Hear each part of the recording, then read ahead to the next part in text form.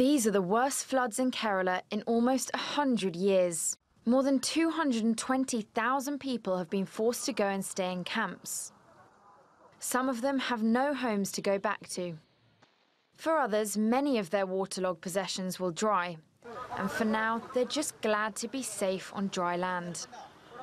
The authorities are providing us with clothes and other things. We have been given clothes, cots and blankets, as well as food. There are no problems. We are going to the camp. Flood waters came into the front porch of my house.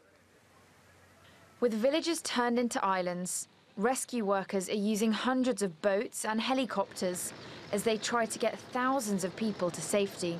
Many of those helping are local fishermen. Crops are damaged, and so is tourist infrastructure. The week-long deluge has also triggered deadly landslides on higher ground. Most of them were doing, they, they were in Idukki and all when initially the landslides came through and they were rescuing people from stranded areas, creating bridges and all.